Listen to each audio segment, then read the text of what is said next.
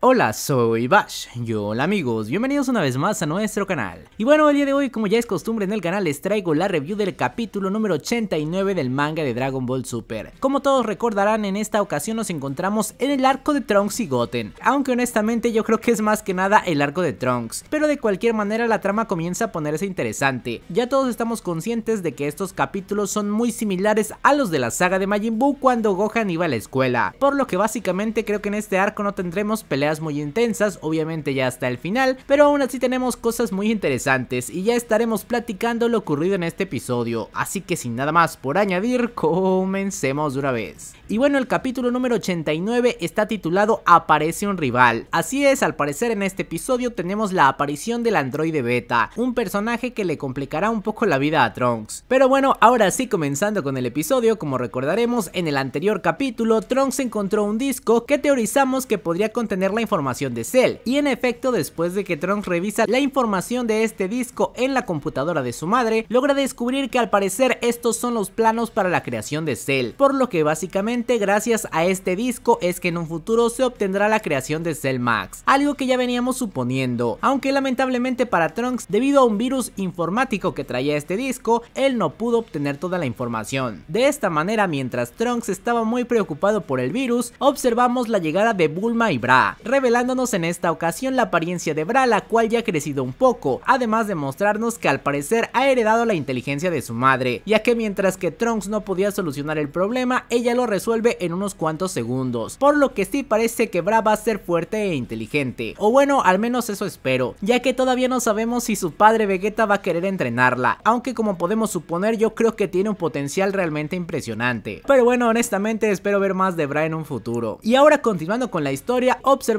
que Mai va a acompañar a Trunks a la escuela, ya que nos explican que la gente va a ver muy raro que una chica como Mai, que tiene casi la misma edad que Trunks, no vaya a la escuela, básicamente sería explotación infantil, por lo que a final de cuentas tienen que mandarla a la escuela para ocultar las apariencias, a pesar de que sabemos que esta mujer técnicamente tiene como 50 años. Pero bueno, una vez llegando a la escuela observamos que Mai impresiona a todos ya que sí es muy hermosa e incluso algunos le preguntan si tiene novio, a lo que Trunks se pone enfrente diciendo hey no, consíguete la tuya. Pero bueno, esto no es todo ya que justamente el mismo día que Mai entra a la escuela también tenemos la entrada de un nuevo alumno, el cual es llamado Beta. De esta manera una vez introducidos dos nuevos personajes a la escuela, continuamos con las actividades escolares, ya que al parecer en este punto Trunks está jugando basquetbol, pero debido a la presencia de Mai, este intenta lucirse, demostrando sus increíbles habilidades. Y bueno, al parecer, al igual que Gohan era un crack en el béisbol saltando como 10 metros, también Trunks puede dominar en el basquetbol. La verdad es que si Goten tuviera un poco más de protagonismo en esta historia, me encantaría ver un duelo de Goten contra Trunks, sería como una especie de Kuroko no Basket, pero bueno, como dije, lamentablemente Trunks se lleva todo el protagonismo en esta historia. De cualquier manera, contra quien sí tiene un encuentro es contra Beta, el cual demuestra tener habilidades realmente impresionantes, robándole el balón a Trunks y dominando la cancha. A pesar de los esfuerzos de Trunks por bloquear su tiro, observamos que Beta tiene habilidades impresionantes y puede manipular el balón en el aire para encestar finalmente y dejar humillado a Trunks enfrente de Mai. Así es, eso sí debió doler. Pero bueno, justamente después de ver esto, observamos que en efecto Beta es un androide del Dr. Gedo, el cual está tratando de encontrar a aquella persona que robó su disco y al darse cuenta de las habilidades físicas de Trunks, dice que él podría ser la persona que lo hizo, aunque lamentablemente para el doctor al parecer los zombies no pueden almacenar mucho tiempo su memoria, por lo que no recuerdan a la persona que lo robó, así que básicamente preguntarles a ellos es completamente inútil. De cualquier forma, ya con la información de la habilidad física de Trunks, la misión de Beta en este punto será descubrir si realmente Trunks fue el culpable de robar el disco y probar si tiene superpoderes. De esta manera ya regresando a clases observamos como Mai logra percatarse de que Beta tiene algo muy extraño en su nuca, lo cual le hace suponer que este tipo realmente es un androide, ya que sus habilidades físicas tampoco son muy normales, aunque menciona que al parecer es un tipo de androide diferente a número 18. De esta manera Trunks finalmente se percata de que en efecto no había podido sentir el ki de este tipo, por lo que muy probablemente sea un androide y además tal vez lo estén buscando a él debido a que se robó ese disco misterioso. De esta manera Trunks va a tratar de guardar su identidad, mientras que Beta va a tratar de descubrir sus poderes. De esta forma vemos una serie de secuencias para descubrir los poderes de Trunks. En primera instancia Beta le lanza un balón a Trunks por la espalda con mucha potencia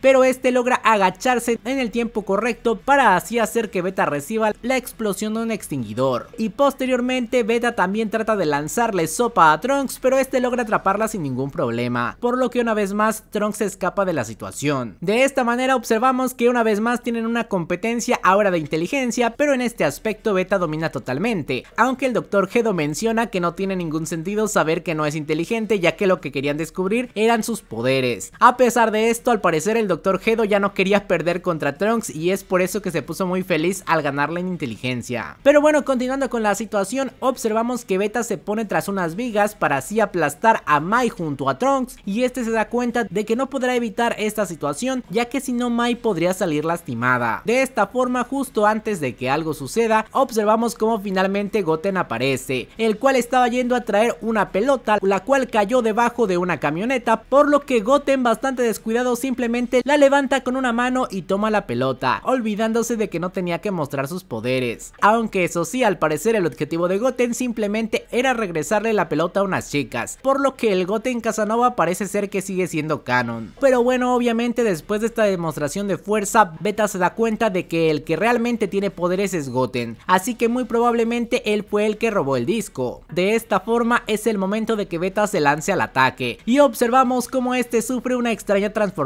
ya que al parecer también tiene un, extraño traje de superhéroe. Como recordaremos en la película se nos mostró que el Dr. Gedo es muy aficionado a los superhéroes, por lo que tiene sentido este tipo de traje para sus androides. De esta manera ahora sí observamos cómo aparece Beta para atacar directamente a Goten, el cual no quería problemas en un principio, pero tampoco es que pueda evitarlo, ya que Beta se lanza al ataque y Goten simplemente va esquivando los ataques, aunque como sabemos él no quiere demostrar sus verdaderos poderes, por lo que no sabe qué hacer en ese momento, ya que está frente a toda la escuela. De esta manera, ante la situación, observamos como Trunks rápidamente se va del lugar para tratar de ayudar a Goten, pero claramente ya usando su disfraz. De esta forma, Goten, al no poder escapar de sus adversarios, sabe que la única manera de lograrlo es usar sus poderes. Pero antes de que esto ocurra, observamos finalmente la llegada de Saiyaman X1. Así es, Trunks ha llegado al campo de batalla para salvar épicamente a Goten. De esta manera, al aparecer el Saiyaman X1, incluso los zombies recuerdan su aspecto y que él fue el que se robó el disco, por lo que ahora sí la batalla principal está a punto de comenzar. Algo muy importante a favor de Goten es que al parecer su traje también ya está terminado, por lo que ahora Goten también ya podrá transformarse en cualquier momento, pero por ahora la batalla principal va a ser entre Saiyaman X1 y Beta 1. De esta manera observamos que a pesar de que la fuerza de Beta 1 es resaltante, al parecer todavía no es un contrincante indicado para Trunks, el cual logra dominarlo sin tanto problema. De esta manera observamos que mientras la batalla se desarrolla, el Dr. Gedo está muy emocionado, ya que le encantó el traje de Trunks, pero aún así sabe que tiene que recuperar el disco, por lo que le dice a Beta que utilice su arma principal, observando que puede transformarse en un robot gigante, algo que honestamente me recuerda mucho al Dragon Ball original. Pero bueno, de esta manera continúa el combate, observando que a Beta no le importa mucho estar enfrente de los estudiantes, ya que lanza misiles explosivos sin contemplaciones, mientras que Trunks tiene que arreglárselas para que estos no causen ningún daño. Pero bueno, a pesar del aumento de poder de Beta, al parecer aún no es rival para Trunks, el cual puede dominar a este robot sin tanto problema, aunque lamentablemente durante el combate Beta sale lanzado hacia un lugar el cual está muy cerca de aplastar a Mai, por lo que también a su vez, debido a que ella tenía el disco con confidencial, logran descubrir que ella es una de las responsables de haber robado este disco. De esta forma Beta rápidamente la captura dividiéndose en dos para así tratar de escapar. Y debido a que Trunks tiene que proteger a sus compañeros, no puede rescatar a Mai muy rápidamente. Aunque afortunadamente para él, observamos que finalmente el Saiyaman X2 llega al campo de batalla para ayudar a Trunks y así salvar a sus compañeros, mientras que Trunks puede salvar a Mai sin problemas. Ya que en esta ocasión Trunks sí usa su poder para destruir el traje por completo y así salvar a Mai, mientras la salva, dejándola al parecer completamente enamorada. La verdad es que en este punto no estoy muy seguro de lo que pasa ya que de primera instancia parece que Mai reconoce a Trunks en el traje de Saiyaman X1, pero posteriormente parece solamente enamorada de Saiyaman X1. Honestamente no sé qué es lo que habrá ocurrido aquí. Pero bueno, una vez que Saiyaman X1 y X2 salvaron el día, observamos cómo celebran frente a sus compañeros, aunque la gran mayoría de ellos piensan que fue una exhibición y otros muy pocos sí los llaman héroes. De esta manera observamos como Mai está bastante admirada ante Saiyaman X1 y dice que la ha hecho sentir algo que había olvidado hace mucho tiempo, pero antes de que Trunks pueda decirle que él es Saiyaman X1, observamos que Goten se lo impide. Así es básicamente la clásica historia de que la waifu se enamora del superhéroe pero no de la identidad secreta. Y bueno, básicamente con esto termina el capítulo, aunque obviamente ahora sí el Dr. Gedo sabe a quién se enfrenta. El problema principal es que directamente